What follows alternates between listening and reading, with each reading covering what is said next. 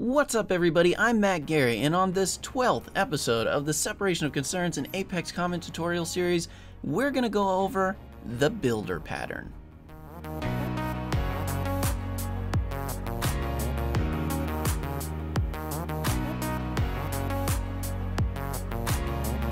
Alright, guys, so today in this 12th episode of the Separation of Concerns and Apex Common tutorial series, we're going to go over the builder pattern, what it is, why you might use it, and how it fits into this whole conversation of separation of concerns and the Apex Common library.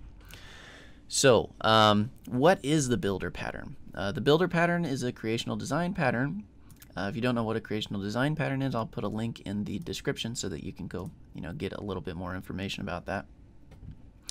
Um, but it allows you basically to to build complex objects one at a time, or one one piece or part or step or whatever at a time. So the uh, the example that I like to give, which we will build out here in just a little bit, is the is building a computer, right? You're building a desktop computer. Um, when you build that, there's lots of different pieces that you could select, right? And, you know, depending on what you're building, you could have a dozen plus parts and it could be in a bunch of different variations. So say for instance you've got a website where customers pick out pieces for their computer. Um, you know, you've got a few options. Uh, the two most common ones, I guess, would be whenever they've picked out the pieces to their computer, they could hit like the enter button or something, or build computer button. I don't know. Some theoretical button that then goes and um, calls a constructor for a computer class that then constructs a computer. It's not a good option. I'll show you why in a bit. Or you could use something like the builder pattern where each time they select something, it uses the builder pattern to add a new part to that computer, which is a little a little easier to uh, deal with, in my opinion. But we'll go over that in a second.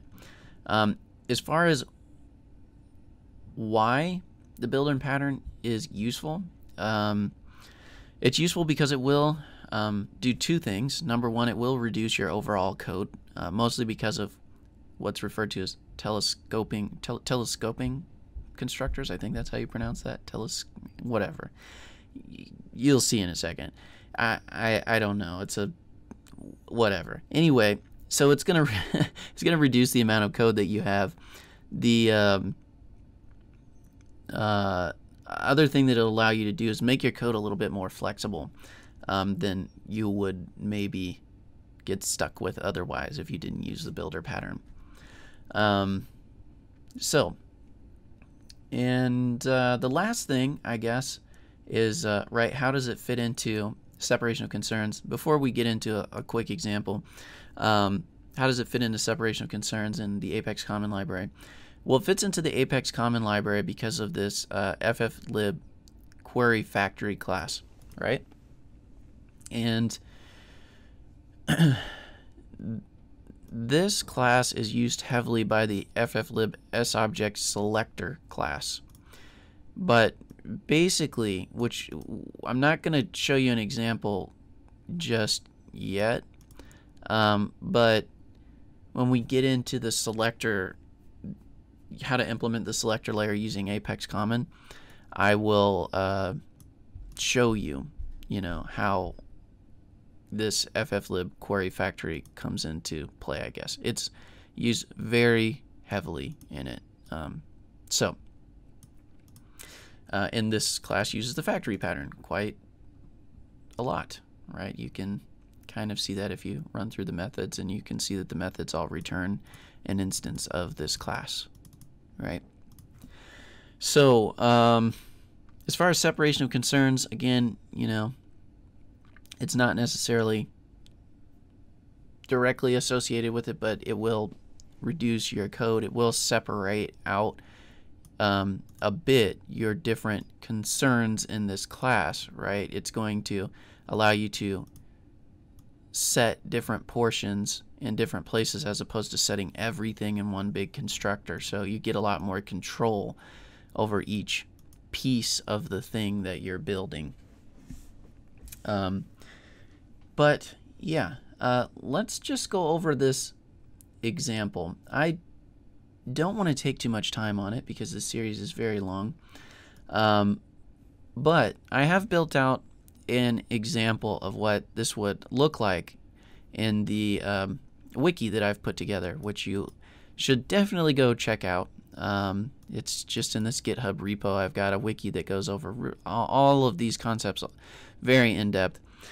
But let's just go over this. So, if we were building a computer, right, and we were building this computer without a um, without using the the builder pattern, uh, basically what we'd end up doing is calling a bunch of constructors to build out a computer uh, for us. So you can see in this public computer creator class um, that I've just got a bunch of different constructors in here that allow me to create computers with a variety of different things. So if we actually let me just grab this and explain this more in IntelliJ. So if we created this new class called uh, whatever I called it, computer creator.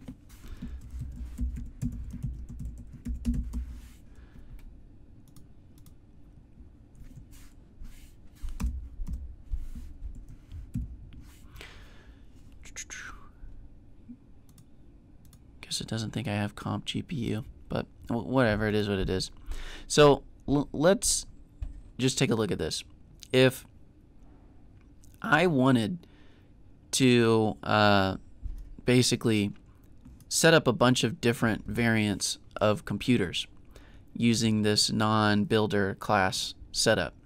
Uh, I have two options. Uh, the first one is what I've got set up here, right? Where basically I allow people to send in all I force people really to send in all of the different computer parts, even if they're null, right?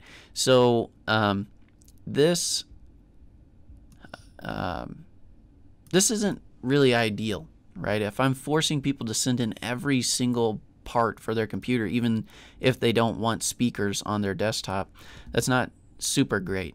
And it will result in a bunch of calls to this computer creator class that have nulls. Not to mention, right? If I wanted now, say say I've got 10 different um, places that are calling this computer creator class and and in constructing it like this. Well, what happens now if I decide I want to add, um, I don't know, I will say a Wi-Fi card or something. I don't know. I've got Wi-Fi card, but whatever, you get it. I want to add a new piece, so we'll say new uh, computer part comp part, right?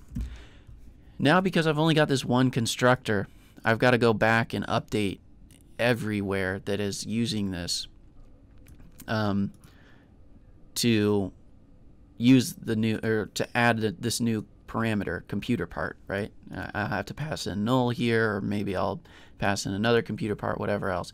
The only other option that I have here if I didn't want to force them to put in every single thing every single time, is to copy this constructor and make it so that I had different variants for every single one, right? And you could have, you know, potentially hundreds of these depending on the different pieces for your complex object that you're building, right?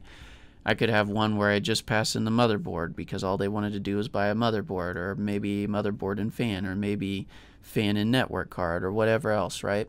So um, you can see how the telescoping constructor, um, that's how I'm supposed to say it. Why, why did I have such a difficult time earlier? No, anyway, the telescoping constructor situation can get out of, out of hand. You could have hundreds of these constructors that just, you know, go over and over and over and over and over and over and over. Not ideal. horrible situation uh, to get yourself into. It can get really unruly really, really fast. So the other option that you have is to use what's called the builder pattern. So if we use the builder pattern for the computer creator class instead of this whole constructor methodology here, let's see what would happen instead. So um, we've got now this computer creator class, but instead it's using the builder pattern where if we want to set a CPU for our, our computer, we set the selected CPU and return this. We set the, the GPU for it and then we return the computer creator, etc., etc., all the way down. Now, I must not comp speakers. It doesn't matter. Um, not super important that I get this to actually work. I don't think. Although I am very. Oh, it's because it's of type speaker instead of speakers. Okay, so um, anyway, now what I would do if I was calling this class from somewhere else is something like this. I would say, you know, public void uh, create computer. And instead of uh, basically, you know, constructing it with one of those huge constructors that we just looked at, instead what we'd end up doing is say new computer creator dot set CPU and then I'd pass it in a CPU so it'd be like new CPU and wh whatever else I needed in there. Obviously these classes aren't real at the moment. I just did this really quick as an example. Uh, then you'd say, you know, after that set fan, etc. And if that's all I wanted to set, right, um, then that's all I'd need to set. I don't have to have a bunch of telescoping constructors over and over again. Um, and uh, you can see how that can drastically reduce your code and simplify things a bit, uh, quite quite a bit. So you can have these complex option or objects that you build one piece at a time, and they have these small methods that allow you to set each piece of the object, right? Um, and then when you're done, you know, you return that to the customer. So you could imagine, right? Maybe in a controller class for a Lightning Web Component or something, you have a computer creator variable, and maybe at some point uh, a user gets to select a CPU for their computer. You'd set the CPU. Maybe at some point they set the fan. You'd set the fan on the computer creator. On and on and on. So extremely simplified code in comparison to the other one where we could just get crazy out of hand, right? Um, so yeah, builder pattern, super useful. Uh, if you want more information on the builder pattern, how it works, any of that kind of stuff, uh, definitely head over to this wiki here that I've put together. Um, there's some useful links. There's a lot more uh, information probably. And I'll link a couple videos that I like that talk about the um, builder pattern that you can take a look at too if you want more information about it past the, you know, quick introduction to it that I've done in this video. All right, guys. Um, hopefully that has helped a little bit. I don't. I never know if they do, but I hope they do. Um, and uh, in the next episode, we're actually going to start on uh, going through the selector layer. So, episode 13, we're going to look at the selector layer, and episode 14, we'll go over how to implement it with the Apex Common Library. So, uh, stick around, and we'll do all those fun things too. All right, uh, that is it. I will talk to you guys later.